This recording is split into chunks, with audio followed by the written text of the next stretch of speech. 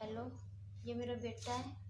हम बल्टाना के रहने वाले हैं और मेरे बेटे को चोट लग गई थी ये सीढ़ियों में से गिर गया था और उल्टियाँ काफ़ी कर रहा था खून की और मैं यहाँ जिप्पी हॉस्पिटल में इसको लाई और इन्होंने अच्छा ट्रीटमेंट किया, बहुत अच्छा किया। मेरा बेटा दूसरे दिन में ही ये रुमान आ गया इसको बहुत अच्छा और ये अब खेल रहा है, कूद रहा है, खा भी रहा है अच्छी तरह और डॉक्टर रवि गर्ग ने इनका इलाज किया, बहुत अच्छा।